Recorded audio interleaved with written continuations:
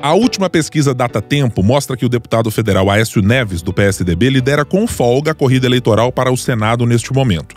A menos de quatro meses para a eleição, no entanto, os votos para senador ainda não estão consolidados. Na pesquisa estimulada, onde uma lista de nomes é apresentada aos entrevistados, Aécio tem 24,8% dos votos. Em segundo lugar, vem o deputado estadual Cleitinho Azevedo, com 11,6%. Quatro candidatos estão tecnicamente empatados em terceiro lugar por causa da margem de erro da pesquisa, de 2,19 pontos percentuais. Sara Azevedo tem 5,7%.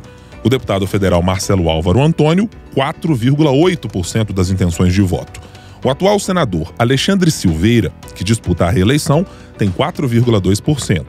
O deputado federal Marcelo Aro fecha a lista com 1,8%. Brancos e nulos são 27,3%. E 20% dos entrevistados não souberam ou não responderam, no cálculo dos votos válidos, onde são excluídos os brancos, nulos e quem não soube responder, Aécio Neves tem 47% das intenções de voto. Cleitinho Azevedo chega a 21,9%.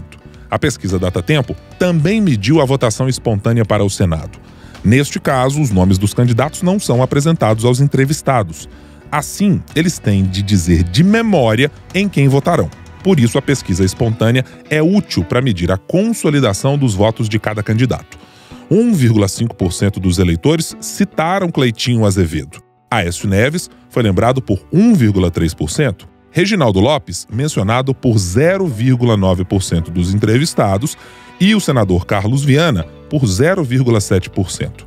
Eles, no entanto, não serão candidatos ao Senado. O senador Alexandre Silveira tem 0,5%. Rodrigo Pacheco, Antônio Anastasia e o candidato do PT também foram mencionados. Porém, os dois primeiros não disputarão as eleições e o PT não lançará candidato ao Senado. Os vereadores de Belo Horizonte, Duda Salaber e Nicolas Ferreira, foram citados por 0,3% e 0,2% dos eleitores, respectivamente. Outros nomes somaram 1,4%. 13,9% dos entrevistados responderam que votarão em branco, nulo ou em ninguém. A pesquisa Datatempo foi contratada pela Sempre Editora. Os dados foram coletados de 27 de maio a 1 de junho de 2022. Foram realizadas 2 mil entrevistas domiciliares. A margem de erro é de 2,19 pontos percentuais. O intervalo de confiança, de 95%.